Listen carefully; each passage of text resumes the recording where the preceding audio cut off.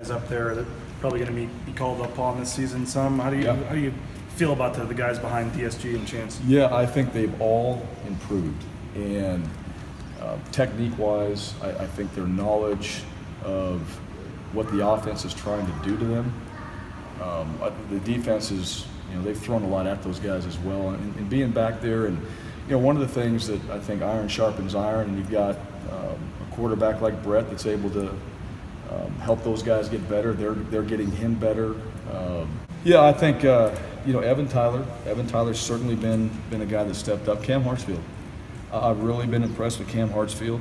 Um, he's made plays, and you know that's one of the things that, that you want to see out there is just a guy like that that consistently does it. mentioned some some young faces. I don't know if you know at this point you say it's still early, but if some if some of those freshmen, I know you got to play some of them at some spots. Have any really kind of stood out to you?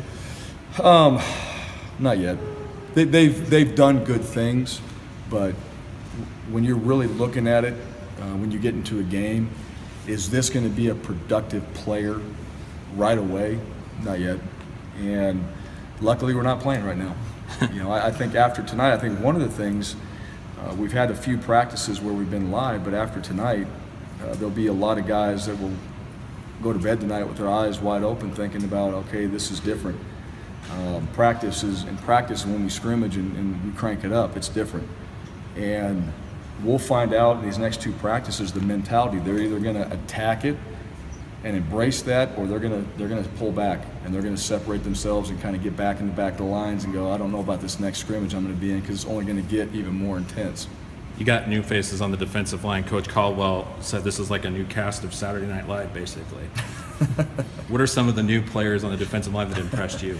I don't know about the Saturday Night Live. I've seen Saturday Night Live. um, certainly not that. Um, Chase Atada, um, Coyote, as those have been two guys that have stood out. Jabari, Watson, um, you know, to name a few, and those guys have probably gotten in and, and gotten a few pops um, with, with some of the backup groups and not just the threes. Uh, but that entire, we, we feel like that entire group is going to be pretty good. And, you know, once they have some time to keep developing. Skill positions you can throw out there a little bit more.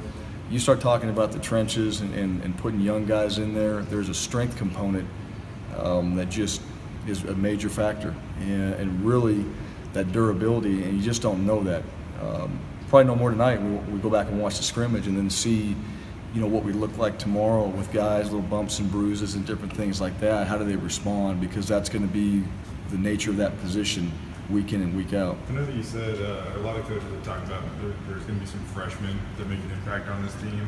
Uh, and after praising them, a lot of you guys also said that we need to see them in pads. And now that you have, I mean, Yeah. have, have you been able to evaluate them just a little bit further now that you have seen them in contact? Yeah, we will tonight. I haven't seen the tape yet, but certainly that'll be a part of it.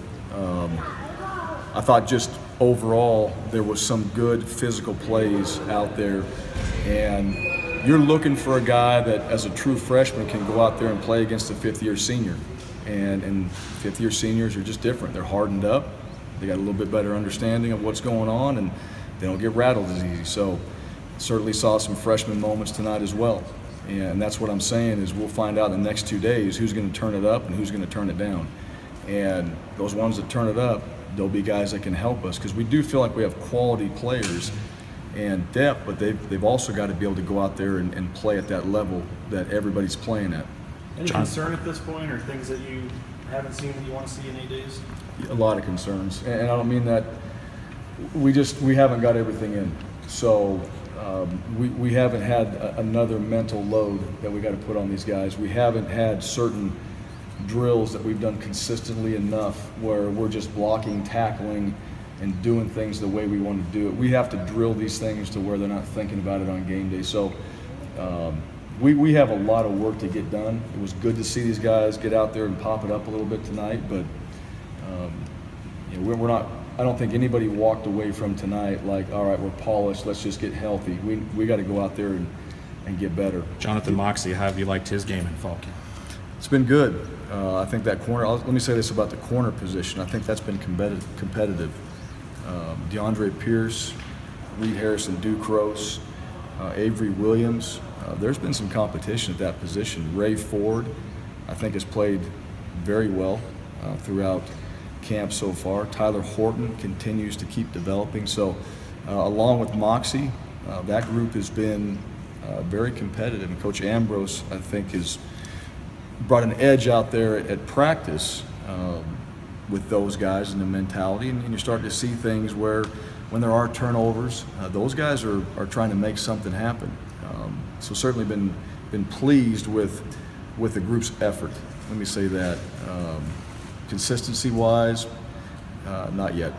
Is there, you know, are you going into the season just thinking, you know, you're going to play the two quarterbacks? I mean, if you had to play a third, who would it be at this point? Is that even something you've even considered? We considered it, don't know. Have no idea uh, at this point who that is yet. And um, don't know, you know, probably at the end of camp. We're going to have to make a decision. You know, we'll have a plan that way, but um, when we start getting more reps with our, our first and second string guys, these other guys will keep getting them, and then we'll cut back and get into some, some more scout type stuff, and then we'll see a little bit of where that third guy is. And he's certainly not going to have the amount of what a starter would have or the backup would have, and what can he handle. That'll determine who it is. You, mentioned the receivers a little bit. And that group, I mean, you got a lot of guys. It seems like kind of burgeoning a little bit, but there's but there's a lot of bodies too. How is that kind of shook out, and what's the mentality like for those guys you know, trying to step up this year? been competitive. I think of Thomas Sperbeck and Chaz Anderson, guys that have played. Um, and, and you've got some new faces in that group. Those guys have done a good job of, of not being seniors in a way. They've been mentors to these guys. They've coached them up. I think they've been really good examples to what the standard is at that position. And those guys have played. Uh, the, young guys are not consistent. They're just not like the, the, the guys that have been here for a while. When they know what they're doing, they can go make plays, and they do look good at that. It's just that's where we have to get them to where what what can they do? What can we get them from not thinking about and just going out there and executing? Because when they do that, uh, they've been pretty good. With that said, you talked about the young guys. How much has the leadership role been bestowed upon Rypien and McNichols? Because there's still young guys out on the field, but Well, I think it's been bestowed upon um, a lot of guys on this team. I don't think it's those two in particular. I really don't. Um, I can name several on, on in every phase, including special teams. So uh, I don't think it's on any one of those. It's been on everybody. What is the standard of our team, really, and the example of it? Because you pop on film and you watch a Sam McCaskill and you're a wide receiver, and we talk about that in team meetings there's the standard, apply it to your position.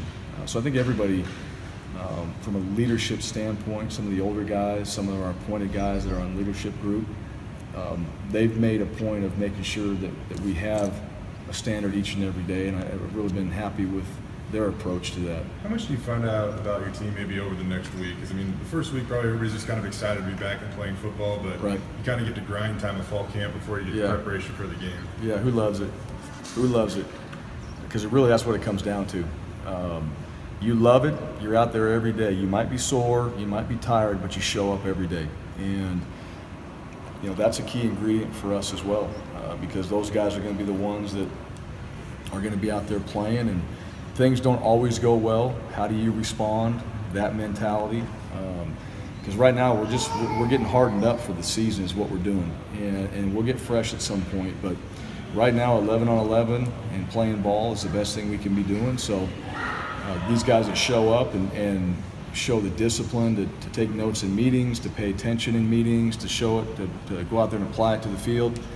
That's where you find out who those guys really are for you this season. You saw Rip, or Rip came in uh, press conference last week and kind of said a couple of things that he's work, wanted to work on. And uh, he talked about the deep ball, maybe pocket awareness and stuff like that. H- h- Have you seen him take a step forward in terms of that so far? Yeah, yeah, and there's more than two uh, that he's got to keep working on. So he's made that a point of emphasis, and, and he's certainly done that. But you know, that on top of you know the other pile of things that, that we want to help him improve on and, and keep working. So those are two things that we that stood out from spring as well. And we've certainly had a chance to work on. That hasn't been the only thing. We, we've had a lot of different variety of things that uh, we've thrown at him, and he's going to get even more this next week.